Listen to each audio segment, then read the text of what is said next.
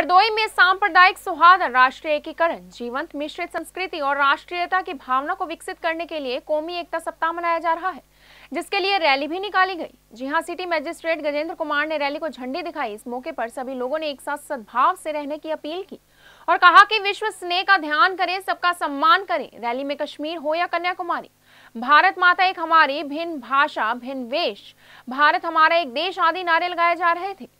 जी हाँ city magistrate ने कहा कि भारत एक ऐसा देश है जहाँ लोग विभिन्न धर्म, क्षेत्र, संस्कृति, परंपरा, नस्ल, जाति, रंग और पंथ के लोग एक साथ रहते हैं। इसीलिए राष्ट्रीय एकीकरण बनाने के लिए भारत में लोगों का एक होना भी ज़रूरी है।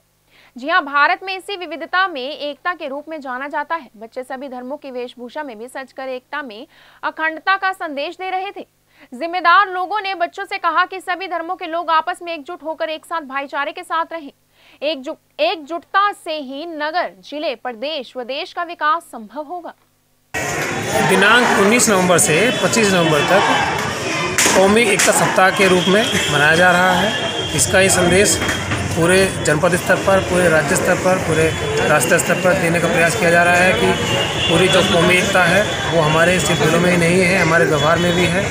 उसी की आज शुरुआत जनपद हरदोई में की गई है। जिसकी शुरुआत के क्रम में गांधी भवन से सभी पूरे जनपद हरदोई के समस्त स्कूलों के बच्चों की रैली निकाली गई है, जिसके पैर बच्चों के द्वारा बहुत अच्छे संदेश सभी जनपद हरदोई वासियों को दिए गए हैं। और इसमें एक सप्ताह का पूरा एक पूरा शेड्यूल बना हुआ है जिसमें प्रत्येक दिन कौमी एकता के से संबंधित कार्यक्रम आयोजित किए जाए कहाँ कहाँ के बच्चे इसमें शामिल हुए थे? इसमें सभी धर्मों के जैन स्कूल से और मदरसे से और जो भी सरकारी स्कूल प्राइवेट स्कूल है उन बच्चों के स्कूलों के बच्चे शामिल किए गए JBD Banquets लाए हैं incredible marriage palace Rajgharana and the finest banquet hall Jyoti Garden. World class catering, centrally air conditioned, lush green lawns, state of the art lighting. A perfect venue for wedding, launching and parties. Rajgharana and Jyoti Garden at JBD Banquets Enterprise. ऐसे ही latest खबरें पाने के लिए bell icon को click कर हमारे channel को like share and subscribe करें धन्यवाद